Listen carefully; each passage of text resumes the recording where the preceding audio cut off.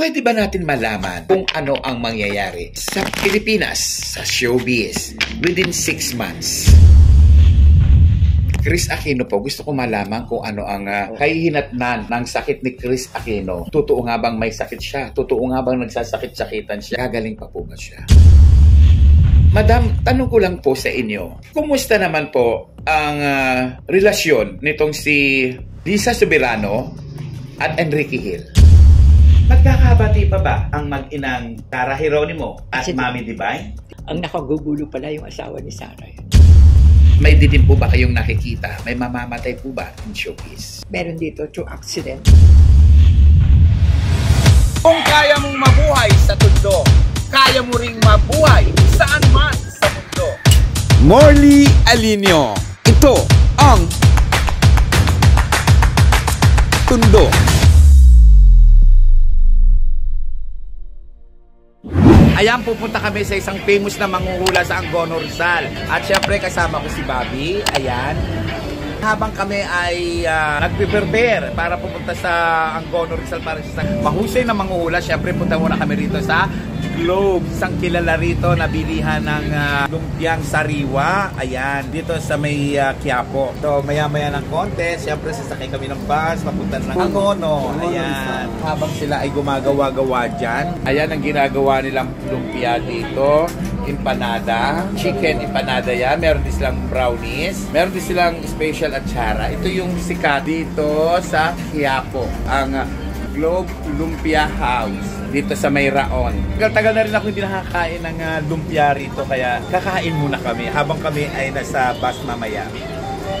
Nakasakay na kami, papunta na kami ng Rizal. Pupuntahan na namin yung manguhula. Medyo magalaw dito sa bus pero pupuntahan namin ang lumayo pa talaga kami sa Angono Rizal. Ang layo ng ano namin, nilakbay namin para puntahan lang itong bahay ng isang sinasabing magaling na manguhula. Medyo excited ako kung ano itsura ng nanguhula. Ayan, andito ako ngayon sa ano, Angono Rizal. Mula sa Maynila pa, ha, sinadya namin dito ni Bobby Perez. Dahil dito daw one time ay nagpahula ang kanyang pamilya at tamang-tama yung mga hinula. At this time, pahuhulaan naman natin ngayon kung ano ang mga susunod na mangyayari sa showbiz after 6 months. Kumakatok tayo. Ayan na. Ayan na, mayroon na lumabas sa babae. Hello, ma'am. Yan. Andi dito na tayo sa lugar na kung saan sinasabi na may magaling talagang manghuhula talaga.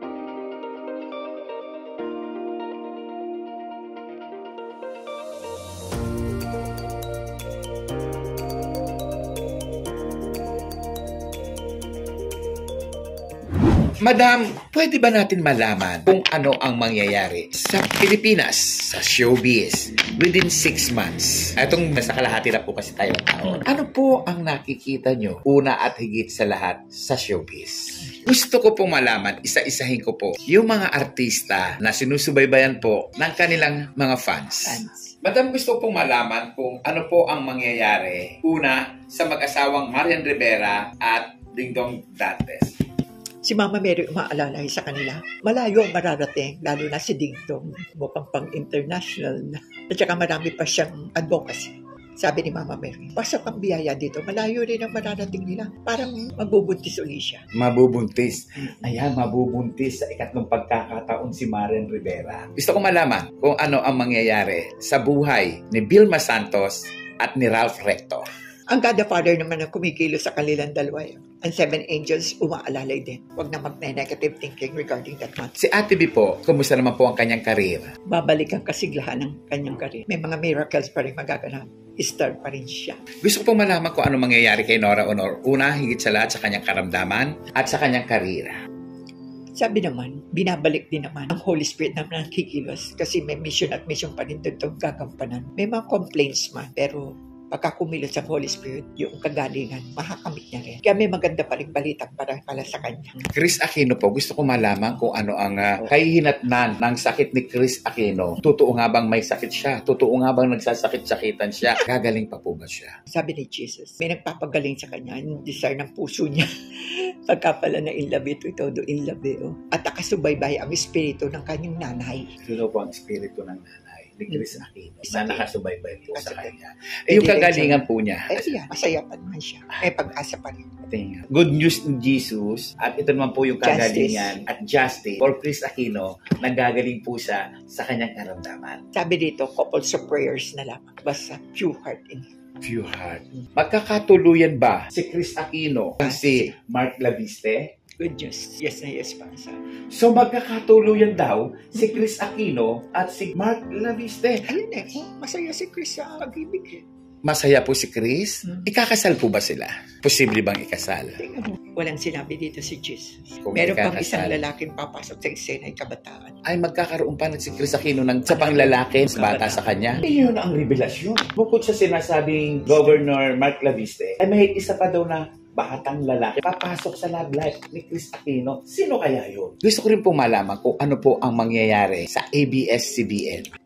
Huwag na raw mabahala dito. Kasi ang katarungan hiningi rin nila ay makakamit nila. Babalik pa ba ang, ang ABS-CBN? Magkakaroon pa pa sila ng franchise? Aba, malayo pa rin doon mararating ng ABS-CBN. Malayo pa ang mararating ng ABS-CBN. Na ibig sabihin, posibleng Posible. maibalik ang kanilang franchise. It's a good news na kung sakaling makababalik ang franchise ng ABS-CBN, marami ang matutuwa. At least, magkakaroon muli ng kalaban ang GMA. Tanong ko lang po, kumusta naman po si Coco Martin at itong si Julia Montes matapos na umamin sila sa kanilang matagal ng itinatagong relasyon? Sila naman talaga eh. Di ba? Magkakaanak pa eh. Magkakaanak pa ulit. Babae. Gusto ko rin pong malaman, siyempre ang kinagigiliwan ng mga kabataan, ang Katnil na si Daniel Padilla at si Catherine Bernardo. Sila ba po ba ay magkakatuluyan? Inallowed. 333 is kaliwanagan. Marami pang bilakrong magaganap na dapat ng asahan. Kaingit-ingit. So ibig sabihin, magkakatuluyan. Possible na magkatuluyan at pwedeng ikasal. Kasi, oh, Oo naman. Pwede raw posible daw ikasal si Catherine Bernardo at si Daniel Padilla. Wow! Good news yan para sa kanilang mga fans. Eh, eto naman po. Kumusta naman po ang pagsasama ng mag-asawang Derek Ramsey at Ellen Adarna? Answer prayer naman. Parang naging matino si Derek doon kay Ellen. No? May simple tampuhan man na agad-agad na nare-resolve ang Ayan, ang dami po natin tutuklasin. Ang dami nating aalamin sa loob ng mangyayaring anis na buwan bago matapos ang taong 2023. Ano pa nga ba ang mga kwento, ang mga nakikita, mga posibleng mangyari sa showbiz? Gusto ko pong malaman, madam, kung ano naman po posibleng kahinatnan ng ah, relasyon nitong si Robin Padilla at Mariel Rodriguez. tinutuyo rin si Maria. Sumpungin si Mariel. Ayun, sumpungin daw si Mariel. Kung sila po ay magkakaroon ng panibagong anak. Masaya naman pagka nagkataon. Masaya rin. magkakaroon ng panibagong anak. Mm. Ayan, masaya at magkakaroon ng panibagong anak si Mariel Rodriguez at itong uh, si Robin Padilla. May dilim po ba kayong nakikita? May mamamatay po ba in showbiz? Jack, Jack, Jack is a good luck sign. Meron dito through accident. Two accident. Na, lalaki. two Hindi sa- accident, parehong lalaki. Isang aksidente lang. Isang accident, Kasi nagkaroon na ng isang aksidente. oo. One accident lalaki itong pwedeng Lalaki. pumanaw. Ah. Mga range, anong mga edad kaya niyan? Kabataan. Ah, bata uli. Pagkatapos mawala yung anak ni season ba yon? Apo, susundan pa rin pa. Kaya nga, ingat-ingat lang. Ibig sabihin, meron pang isang kabataang lalaki na pwedeng pumanaw taon na ito ng 2023 sa pamamagitan ng aksidente. Sa babae po, wala po ba? Negative. Safe ang mga babae for this 2023. Walang aksidente maliban doon sa isang batang lalaki na pwedeng pumanaw ngayong taon na ito. Meron pa po ako natitira itatanong ko po sa kanya kung ano na po ang mangyayari sa relasyon ni Pokwang at ni Lee O'Brien. Posible bang magkabalikan sila? Posible bang matapos ang relasyon nila? Posible bang hanggang doon na lang ang kanilang relasyon? Milagro na raw lang ng Panginoon kung magkaano pa rin sila. No? Si Mama Mary, si Jesus ang kumikilos dito. Kasi ang nagdadala naman ng swerte talagang si Pompong. eh. Siya ang may star, siya ang may access. Nasa sa kanya kasi nakapagsasalita na rin siya ng ano eh, against. So nakikita po ninyo yan, madam, na wala nang pagbalikan na mangyayari at imposible na. Impossible. So, ibig sabihin, imposible na magkabalikan pala si Lee O'Brien at itong si Pokwang. Nakakalungkot naman. Nasayang naman ang kanilang relasyon na matagal din namang iningatan. Madam, tanong ko lang po sa inyo, kumusta naman po ang ah, relasyon nitong si Lisa Soberano at Enrique Hill? Negative na eh. Kay Lisa, pati doon kay Enrique. Hindi na po sila Ayaw, magkakabalikan. ayaw na rin ng babae. Ayaw nung babae. Ayaw din ng lalaki.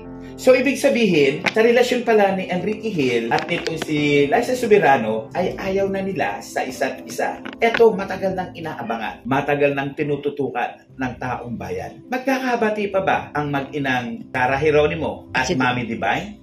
Ang nakagugulo pala yung asawa ni Sarah Ang Kasi- nakakagulo, yung Oo. asawa ni Sarah na si Matea. Gudazelli.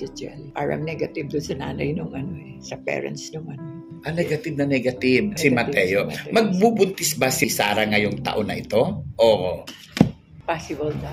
Yes, isang good news. Possible na magbuntis si Sarah Geronimo this year. Kaya sa mga fans ni Sarah, congratulations sa inyo dahil ang inyong idolo posibleng magdalang tao. Marami na po tayong pinag-usapan ni Madam. Ramdam ko po na siyempre tayo po ay nagkakaedad. Marami pa sana akong gustong itanong tungkol sa inyong mga paboritong artista. Pero tao lamang po tayo at nakakaramdam din po tayo ng pagkapagod. Napakaraming salamat po. May gusto po kayo sabihin sa ating mga viewers, ating mga listeners? God bless everyone. Sa mga gusto pong ah, magpatingin at magpagamot at mag- malaman ang kanilang ah, future na mangyayari sa kanilang buhay, saan sila pwedeng pumunta? Ano po ang address po natin dito? 233 CIJ, Edenville Subdivision, Kalabaw lang. Mhm. Likod ng SM. SM Anguno. Kilala po kayo dito. Oh, Sister Ellie. Hey, Sister Ellie lang ang hahanapin. Ako po sobrang nagpapasalamat dahil Sige, nabigyan niyo po ako ng pagkakataon. Thank you so much po. God bless you. Ako po ay nakaramdam po ng kakaiba habang kausap ko po si Sister Ellie. Isa lamang po ang bibitawan ko ngayong hapon na ito. Kakaiba ang aking naramdaman. Kakaiba ang pumasok sa aking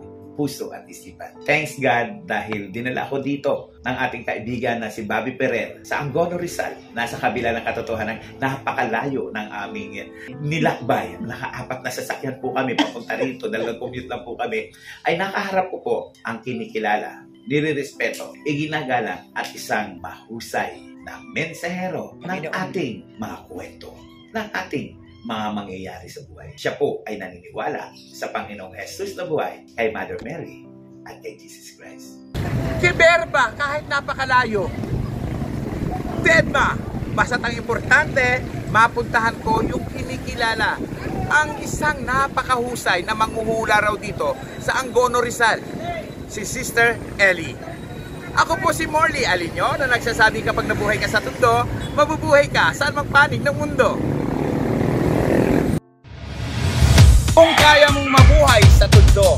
Kaya mo ring mabuhay saan man sa mundo. Morley Alinio. Ito ang Tundo.